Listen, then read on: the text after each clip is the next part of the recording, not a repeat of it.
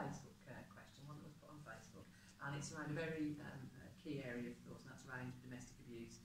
And um, Jennifer has asked, what investment has been made in officer training and in supporting victims of domestic abuse?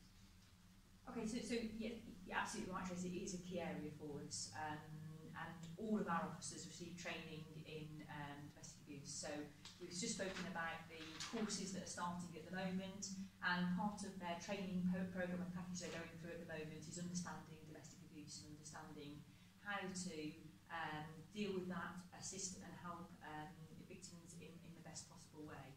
Um, we as a, uh, as a service use domestic violence prevention notices and all our officers are trained as to when it is appropriate to use those. And those are there to prevent a, um, potential um, perpetrator going back to a premises and causing more harm. We also train our officers on the disclosure scheme, um, known as Clare's Law. Um, it gives an opportunity for people to be able to uh, identify um, as they start a relationship the, um, you know, the background of that individual. We also, at, at, the point of dealing with domestic abuse, um, we fill in a, a comprehensive assessment so we can understand the journey that individual is going through understand the risk.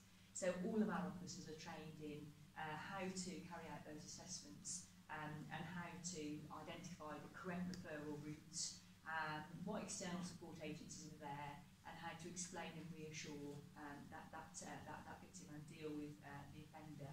We also have independent groups that assist us, um, the um, independent domestic violence advisors, um, the independent sexual violence advisors who uh, assist um, victims, and we work really closely with them, um, as well as with Refuge, um, you know, to ensure our domestic violence victims receive the best information we can give them, the best support, and the best management of the risk around them, uh, with them.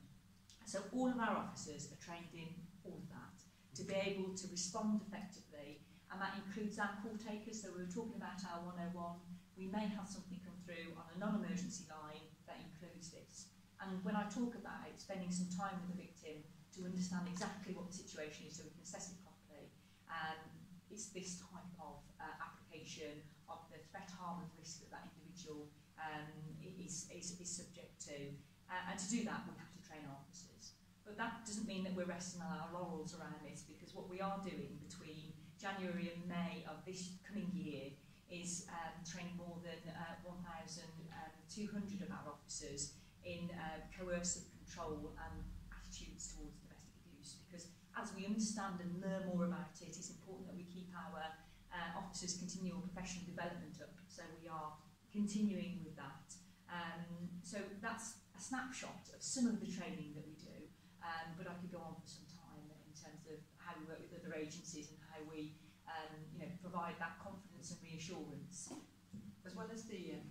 mentioned there the IDVA service and the ISVA service, which obviously um, John funds. John's also funding the DRIVE programme this year, the programme.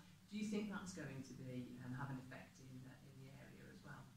Yeah, so that's a, a pilot. It's going to run for 18 months. A really um, you know, good piece of work. I'm really interested to see the benefits of that so that we can have a look to see whether or not that's going to be expanded out.